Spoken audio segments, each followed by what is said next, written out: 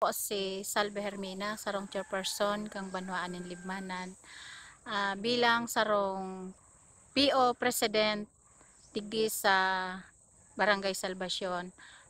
Dakulaon po ang samuya ning pagkikipagtabangan manunungod digdi sa satoyang environment ano Ah, si samuya pong grupo digdi nagtanong po ning 20,000 na mangroves na na dati po ang samuya digding mga bakawan igwa nagpuputol. Si apekto po kato nagluyan si sira. Tapos ngunyan po namagayo na si mangroves nababantayan na.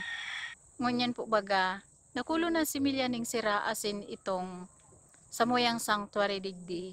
Tarakula na si sira sa samoyang pagtatarabangan ano. Bilang ako sarong chairperson nakikipag-session ako sa mga barangay official digdi sa coastal kan Libmanan na. Kami po magtarabang sa pagproteksyon kan sa tuyang coastal igdi sa Libmanan. Na kami po na mga bantay dagat. Nagtatanom po kami nagtarabang po kami sa pagtanom ng mangroves.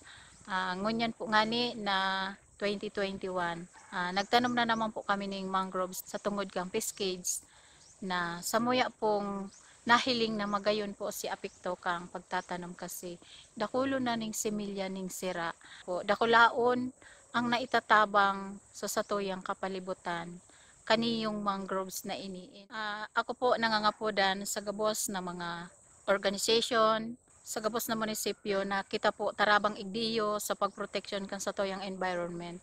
Napakahalaga po kani sa mga fisher folks na ini po nakakapadakol ning sira, nakakatabang ini sa satuyang kalikasan.